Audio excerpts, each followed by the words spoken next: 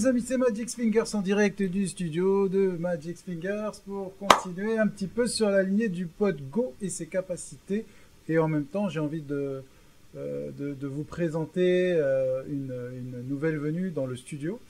Et avant, je voulais vous souhaiter une excellente année 2022 euh, avec tout plein de bonnes choses forcément pour vous, ma communauté, pour ceux qui découvrent la chaîne. Merci d'être cette communauté actuelle euh, qui me touche énormément et qui s'agrandit encore. Et ça, c'est fantastique et c'est vous qui avez ce pouvoir-là. Euh, bref de bavardage, donc je vais vous présenter aujourd'hui une nouvelle venue. Voilà, ça c'est la basse qui a intégré le studio en fin d'année 2021, euh, qui est magnifique. Hein. C'est une, une corte, c'est la B4 Element Hopper open port natural, je crois qu'ils appellent ça. voilà, c'est un beau morceau de bois qui a été euh, poncé, je pense, avec de la trouillole après, un vernissage. Euh, voilà, avec des micros actifs, mais en même temps euh, passifs, avec ce petit. mais il faut quand même une pile pour la, pour la faire fonctionner. Donc je vais vous donner les caractéristiques exactes, puisqu'à chaque fois je suis approximatif.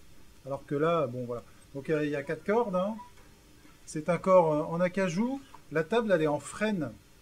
Voilà, c'est un manche 5 euh, pièces vissé en panga panga noyé. Voilà, donc c'est purement magnifique. Euh, je vous avoue, je connaissais pas trop Corte.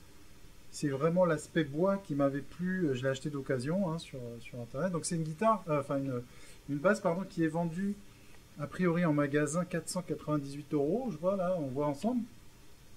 Euh, avec deux, micros qui sont euh, double bobinage, des Bartolini MK1 avec un préamplificateur actif Bartolini MK1 et un equalizer 3 bandes qu'on peut utiliser en passif et en actif. Donc en fait l'équalizer il est là avec un petit cran au milieu, tac, on sent le petit cran et après tac. Donc euh, les aigus, les médiums, les basses, et ça c'est pour la couleur et la tonalité des micros. Et ça c'est le petit switch passer du passif à actif. Voilà, donc il y a un chevalet euh, Malcraft M4. Il y a des mécaniques Hipshot Ultralight. Bon voilà, donc c'est une, superbe basse. Euh, j'ai monté des, des dessus avec une sangle qui m'a été offerte avec, attention et pas des moindres, je sais pas si ça se voit bien, mais il y a marqué Magix heureux. 40. Bon, pourquoi 40 Je vous laisse deviner.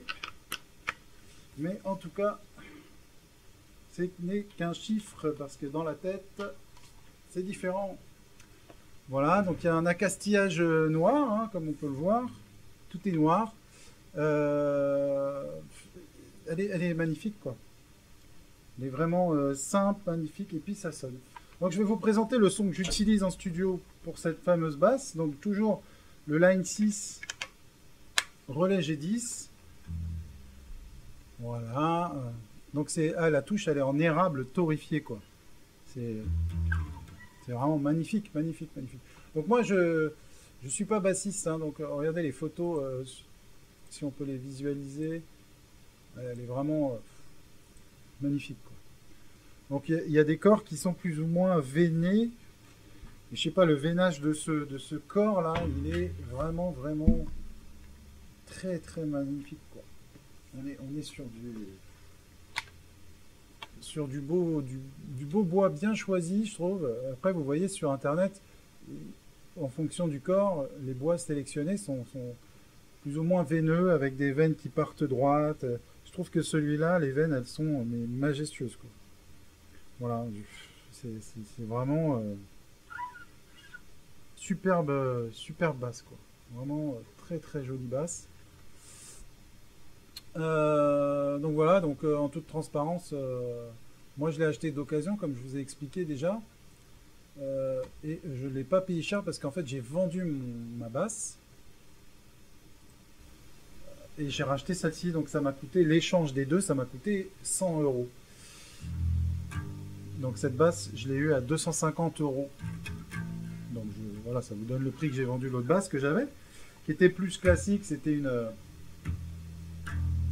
donc là, on est en, actif pour activer euh, le préampli. Et là, on est, on est en passif.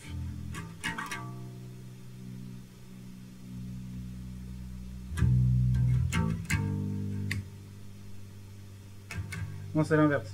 Passif en bas.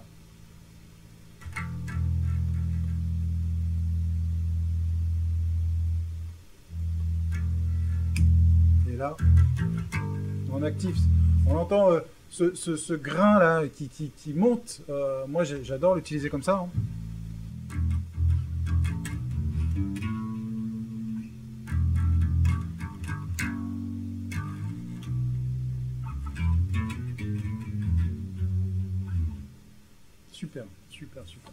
Donc on est parti sur le pod Go.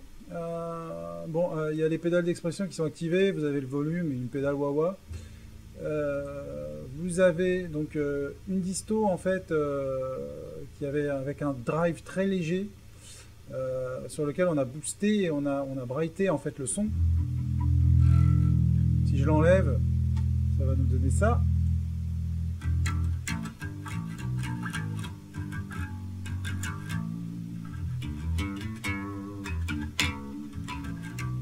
Moi, je l'enlève en fait, hein, le boost.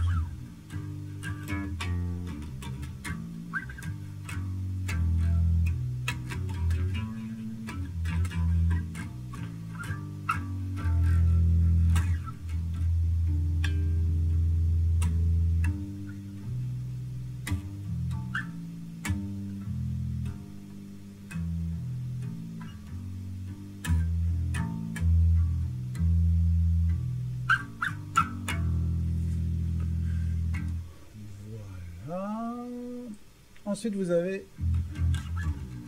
une pédale de dynamique qui est en amont euh, en fait de l'ampli utilisé. Alors, on, verra après l'ampli ce que c'est. Si j'enlève, hein, on voit qu'il y a du dynamisme en moins. Hein. Ça agit comme un compresseur. Hein. Pour arrondir un peu le son.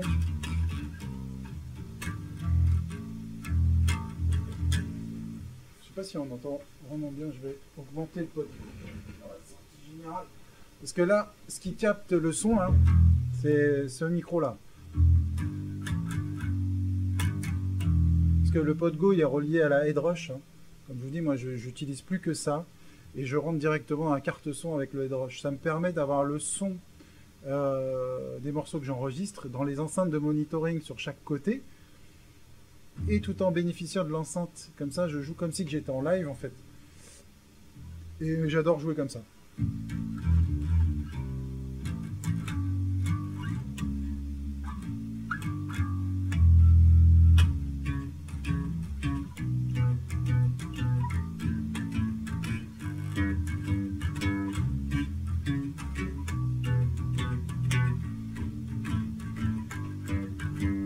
Les bassistes vont me haïr. Hein. Moi, je n'ai pas le doigté du bassiste.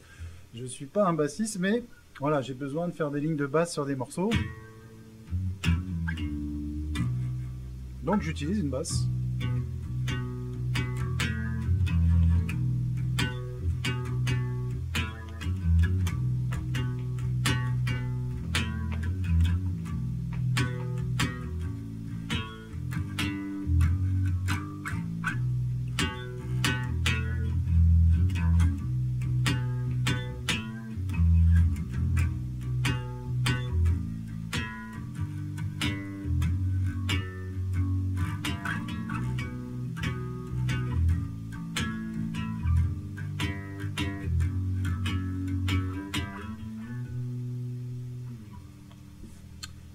Voilà un petit son euh, très très très très très très très très ouvert et très très sympathique. Bon, son de basse hein, bien sûr. Hein. Donc on est sur euh, un ampli de basse. Hein. Il y en a plusieurs proposés par, euh, par le Podgo en fait, mais c'est un Ampeg principalement. Mais après vous en avez d'autres. Moi j'utilise le Ampeg SVT4 Pro. Voilà, pour, pour simuler un ampli de basse. Euh, comme on voit euh, au niveau de l'égalisation, on est, assez sur du standard, quoique on baisse un peu la basse quand même parce qu'il y a le boost qui rajoute, il y a les middle qui sont un petit peu augmentés, puis après on peut, avec la basse, on peut augmenter les middle hein, ou les baisser.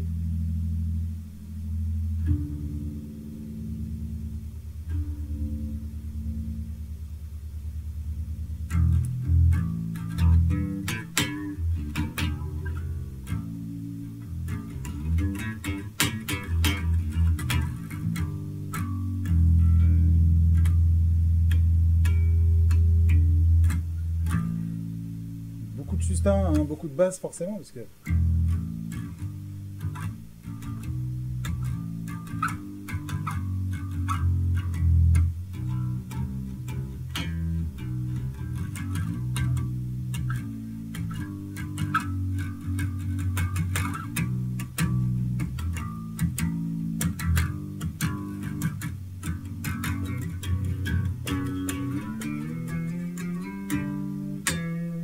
pas mal d'aigus aussi.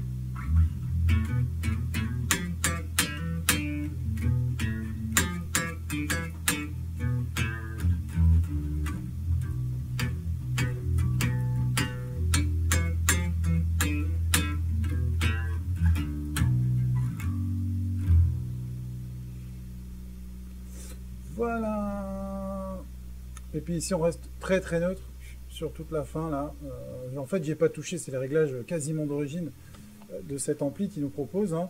Euh, ensuite on est sur, sur un 4x10.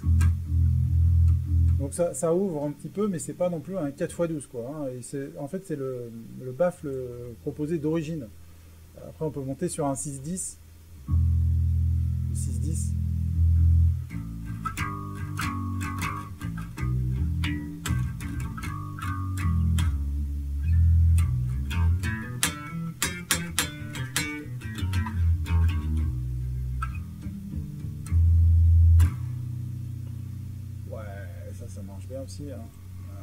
un 8-10. C'est ouf ça. En fait, je découvre en même temps que vous. Hein. J'avoue que, en général, quand moi je trouve un son, après je reste sur ça et puis point barre. Hein. Et après, il y a une équalisation. Alors, je l'ai mise après, en fait, à la restitution du son.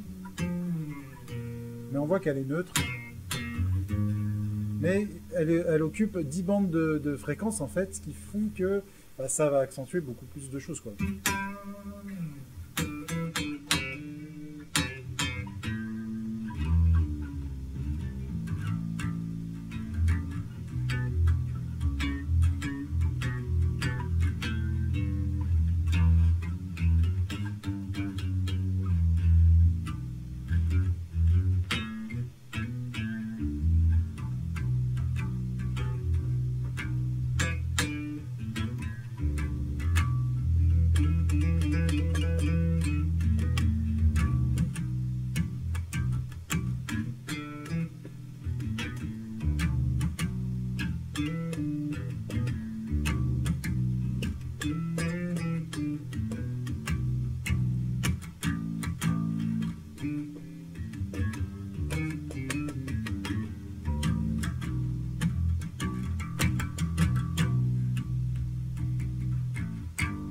Moi, je joue principalement avec les doigts la basse. C'est très rare que j'utilise un médiator, d'ailleurs jamais, parce que la basse, je trouve c'est vraiment un instru vraiment euh, sensuel. En fait, j'aime vraiment la basse. Je crois que si je devais me reconvertir, j'aurais choisi le piano, mais, la basse, j'aime vraiment. Trouver des lignes de basse, j'adore sur un morceau.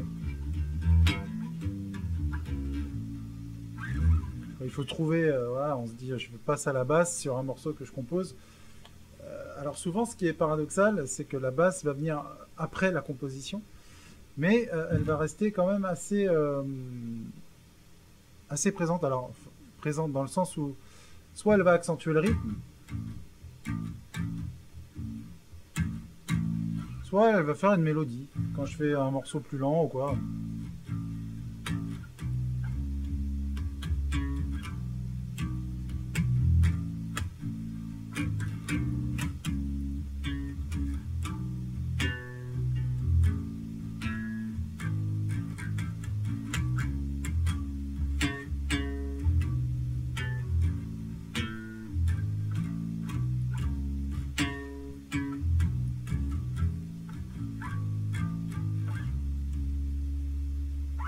Ça va dépendre en fait du contexte en fait et puis de l'inspiration que j'ai sur le moment. Euh, mes lignes de basse, elles sont assez uniques en fait, un peu comme mes solos de guitare, c'est-à-dire honnêtement, je travaille jamais euh, tout de suite en fait les choses. C'est-à-dire que je fais d'abord ce qui me vient, euh, je colore l'aspect rythmique ou, mélodique, même dans un solo, où je vais plus accentuer le, côté mélodique, certes, quand on me connaît, mais je vais, je vais plutôt improviser euh, ce qui me vient sur le moment, et puis je vais en tirer après des choses. Des fois, j'arrive à trouver des, des mélodies ou, des notes qui sont vraiment euh, intéressantes sur, l'accord qui arrive, et que en travaillant du coup le, solo ou la ligne de base, je vais utiliser au maximum tout ce que je vais entendre et qui vont me plaire à l'oreille sur ce que j'aurais enregistré la première fois. Alors c'est rarement des one shots, c'est-à-dire ce que je fais en one shot, ça va pas être ce que vous allez entendre, ça va être retravaillé par la suite.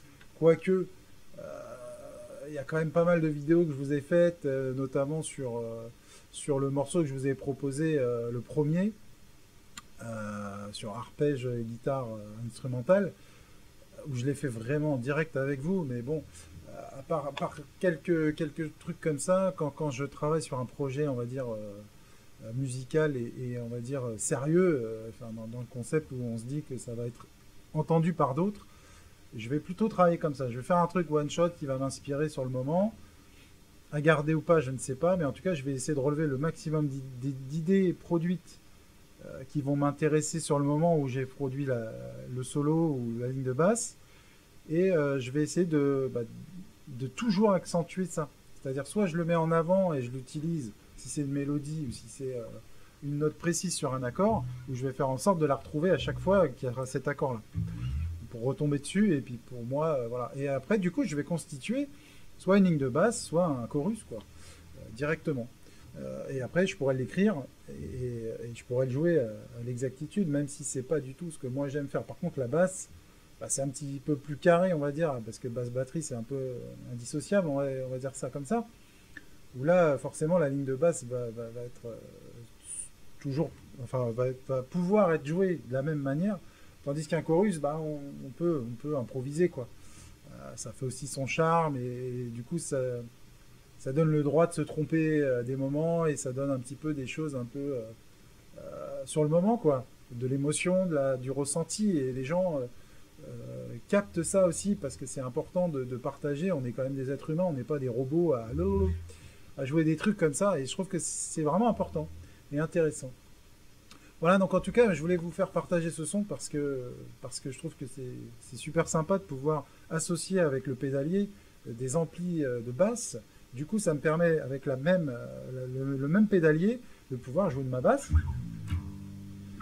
et de la guitare, et puis voilà, tout combiner de manière à pouvoir être productif et pouvoir faire ce que j'aime, donc en l'occurrence de la musique. Et du coup, comme euh, je suis beaucoup en solo, entre guillemets, donc là, je suis sur un projet avec une chanteuse euh, où je compose. Donc, c'est moi qui fais les lignes de basse, les guitares, les, claviers s'il y en a. Euh, et puis, je, prépare le, futur album avec mon pianiste. ou sur les morceaux, bah là, je, crée la basse jusqu'à récemment, puisqu'on a trouvé un bassiste qui va nous rejoindre.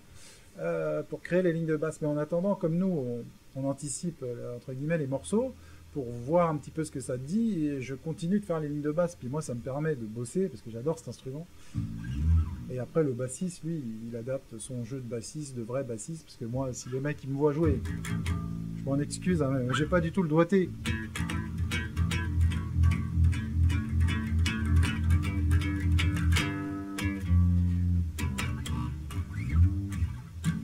J'ai pas le doigté d'un bassiste, mais euh, ça sonne quand même, on se débrouille quoi. En fait, c'est ça la musique, c'est ça l'intérêt, c'est d'être débrouillard, quoi. Je veux dire, on n'est pas obligé d'avoir fait 10 euh, ans de basse, 10 ans de piano pour euh, appuyer sur un clavier ou avoir le droit de toucher à une basse. Faites-vous plaisir, quoi. C'est ça l'objectif, c'est d'être productif et de ne pas avoir de limites. Aujourd'hui, on peut avoir plein de choses intéressantes à la maison et, c'est génial. ça crée forcément la créativité, l'inspiration, et puis c'est accessible donc euh, voilà, une base comme ça, 250 euros, bon, euh, je pense que c'est quand même accessible. Peut-être pas toutes les bourses, mais bon, euh, voilà quoi. dans l'idée, c'est quand même, il y a plein de basses qui sont accessibles à des prix raisonnables, sur lesquels on peut se faire très plaisir et, produire des choses intéressantes. Quoi. Du coup, moi, je, voilà, j'ai cette chance-là, j'en suis très très conscient. Hein. Je ne suis pas là pour polémiquer, à dire ah mon Dieu, il me manque ça. Non, j'ai la chance d'avoir créé mon studio. Bon, il y a dix ans derrière de, financement et d'attente aussi sur beaucoup de choses. Euh, moi, ça fait 25 ans que je fais de la musique. J'ai pas eu tout. Euh, voilà, je suis pas né avec une cuillère d'argent dans la bouche. Hein.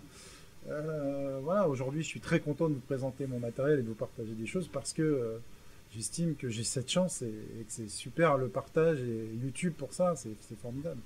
Bref, fini de, de, de, polémiquer, de parler. Je voulais vous présenter aussi, j'ai des petits des petits, euh, voilà, des petits Hercules comme ça qui se plient dans tous les sens pour reposer mes, mes et tout. Je trouve ça tellement pratique, ça prend pas de place. Ça coûte à peu près une quinzaine d'euros, je crois.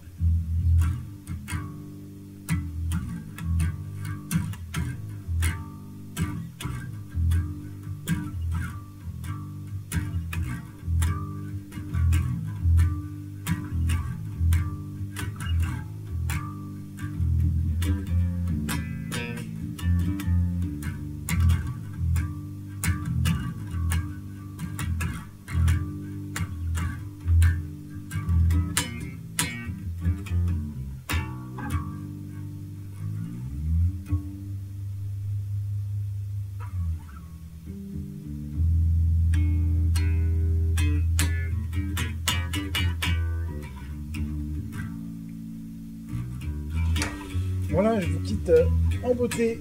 Je vous montre une dernière fois cette magnifique basse de chez Corte à B4. Avec euh, vraiment, vraiment un bois magnifique, une sculpture, on dirait presque une œuvre d'art. Superbe, super, super. Voilà les amis, J'espère que cette vidéo vous a intéressé, euh, vous plaira aussi dans la lignée du, du, pot de Go. Je voulais vous remercier encore une fois et sincèrement pour, pour tout ce que vous êtes en fait par rapport à cette communauté et cette chaîne, tout ce que vous apportez euh, comme positivité euh, à mon égard. Et voilà, et c'est ce qui me motive pour la suite. Je vous souhaite une excellente année, je vous fais des gros bisous. C'était Magix Fingers en direct du studio de Magix. Salut les amis, à bientôt